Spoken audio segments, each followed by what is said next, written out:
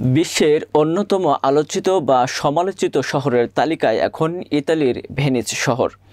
যে শহরে প্রবেশ করলে গুনতে হয় প্রবেশ ফি। ইউরোপ ব্যুরো প্রধান জাকির হোসেন সুমনের প্রতিবেদনে দেখুন বিস্তারিত। ইউরোপের উন্নয়নশীল দেশ হিসেবে পরিচিত ইতালি, আর ইতালির অন্যতম ভাসমান পর্যটন নগরী হিসেবে পরিচিত জলকন্যা খ্যাত ভেনিস। প্রতিবছর দেশ বিদেশের লাখো পর্যটকদের পদচারণায় মুখরিত থাকে ভেনিস নগরী। আর পর্যটকদের আগমনের কারণে এখানকার ব্যবসা বাণিজ্য পর্যটক নির্ভর। প্রতি বছর পর্যটকদের চাপ সামলাতে হিমশিম খেতে হয় স্থানীয় প্রশাসনের। সাম্প্রতিক সময়ে পর্যটকদের উপস্থিতি কমাতে ও পরিবেশ দূষণ রোধে ভেনিসের মেয়র আইন জারি করেছেন। ভেনিসে প্রবেশ করতে হলে দিতে হবে পাঁচ ইউরো প্রবেশ ফি। এই সিদ্ধান্তের কারণে চলছে আলোচনা সমালোচনা। ট্যুরিস্টের প্রেশার কমানোর জন্য ভেনিসের মেয়র সাহেব যে সিদ্ধান্ত নিয়েছে, এটি একটি আত্মহত্যার সিদ্ধান্ত। কেননা, ভেনিসে যারা বসবাস করে এবং ব্যবসা করে, তাদের লসের মুখে পড়বে। ভেনিসের ট্যুরিস্ট না আসলে তারা বিজনেস কীভাবে করবেন? এবং যারা আসবে, ওনারা এই রেজিস্ট্রেশন করে আপনার যদি এই ফর্মটা ওখানে প্রেজেন্ট না করা হয়, পঁচিশ থেকে পাঁচশো ইউরো পর্যন্ত জরিমানা গুনতে হবে। এটা ক্রমেই ভেনিসের জন্য একটি অমঙ্গল সিদ্ধান্ত। ভেনিসে আগে যেরকম টুরিস্ট আসতো, আমরা এই মে মাসে যেরকম দেখছিলাম এর আগে, অতীতে আমরা এখানে কাজ করি আমি ছয় থেকে সাত বছর থেকে। এই সময় আরও বেশি কাজ হইতো। টুরিস্ট আরও বেশি আসতো। কিন্তু এই পাঁচ টাকা লাগানোর কারণে কিছু কম হচ্ছে। মানে টুরিস্ট কিছু কমে গেছে।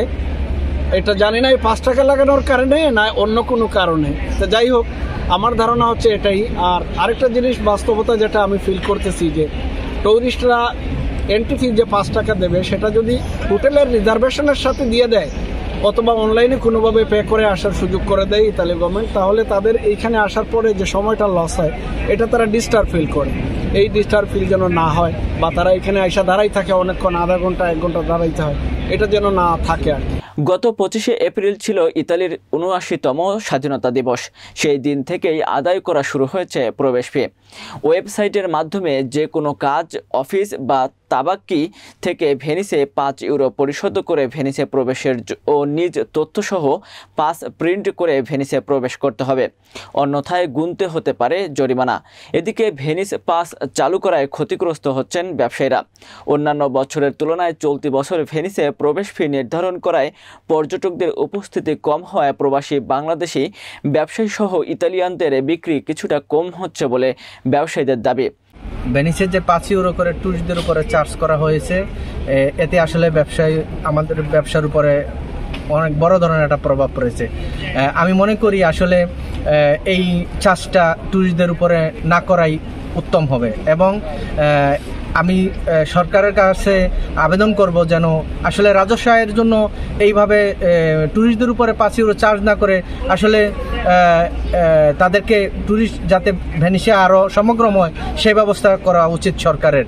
আর আমরা যদি ব্যবসায়ীরা আসলে যেভাবে ক্ষতিগ্রস্ত, ক্ষতি হচ্ছে আমাদের ব্যবসায় বিশেষ করে এই পাঁচ ইউরো চার্জ করার পর পর থেকে আমরা দেখতেছি আসলে ব্যবসার মন্দাজ আছে আস্তে আস্তে আসলে ব্যবসা কমতেছে। চোদ্দ বছরের বেশি যাদের বয়স, সেই সব পর্যটকদের এই পাস নিতে হবে। তবে ভেনিসের রেসিডেন্স কার্ড বা ভেনিসে যারা কাজ করেন, তাদের একবার এই কার্ড তুললে চলবে কোনো প্রকার ফি ছাড়া। আর ভেনেতো বিভাগে যারা বসবাস করছেন, যাদের রেসিডেন্স কার্ড ভেনেতো বিভাগের মধ্যে তারা যতবার ভেনিসে আসবেন, ততবার এই কার্ড তুলে ভেনিসে প্রবেশ করতে পারবেন, কোনো প্রকার ফি প্রদান ছাড়াই। তবে অন্য শহর হতে ভবনিসে ঘুরতে আসলে দিতে হবে ফি। তবে যাদের হোটেলে বুকিং করা থাকবে, তাদের ভেনিস সিটি ট্যাক্স পরিশোধ থাকার কারণে পাঁচ ইউরো দিতে হবে না। ভেনিস পাসের জন্য গত ষোলো জানুয়ারি দু হাজার চব্বিশ হতে পর্যটকদের জন্য অনলাইন বুকিং শুরু করা হয়েছে। পঁচিশে এপ্রিল থেকে কার্যকর করা ভেনিস পাসের নিয়ম চলছে তিরিশে এপ্রিল পর্যন্ত। তবে পর্যটকদের পাঁচ মে থেকে শুধুমাত্র শনি ও রবিবার নিতে হবে ভেনিস পাস। মিউজিয়াম? নাকি একটি শহর? এটা নিয়ে অনেক আগে থেকেই পর্যটকদের মধ্যে বিতর্ক আছে, কারণ ভ্যানিস সকালে দরজা খোলে, রাতে দরজা বন্ধ করে এমন একটা ব্যাপার আছে। তবে এই আলোচনাটাকে, এই সমালোচনাটাকে আরও বেশি উস্কে দিয়েছেন ভ্যানিসের মেয়র। তিনি সম্প্রতি একটি আইন করেছেন, একটি নিয়ম চালু করেছেন যে ভ্যানিসে প্রবেশ করতে হলে পর্যটকদের প্রবেশ ফি দিতে হবে। পাঁচ ইউরো প্রবেশ ফি দিয়ে যখন একজন পর্যটক আসবে, তখন এটা স্বাভাবিকভাবেই প্রশ্ন ওঠে যে পৃথিবীর আর কোথাও কোনো শহরে প্রবেশ করতে প্রবেশ ফি দিতে হয় না, যেটা নির্ধারণ করা হয়েছে ভ্যানিসের ক্ষেত্রে। প্রাথমিকভাবে মাত্র উনত্রিশ দিনের জন্য এই নিয়মটা চালু করা হয়েছে।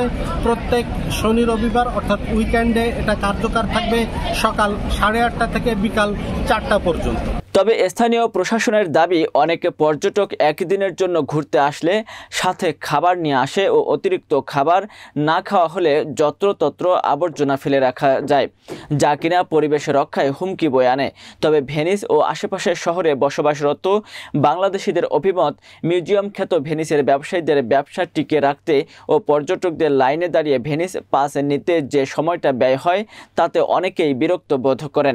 দেখতে পাচ্ছেন যে এই যে একটি কাগজ যারা ট্যুরিস্ট আসবে, এখানে দেওয়া আছে, তাদের জরিমানা ফি কত?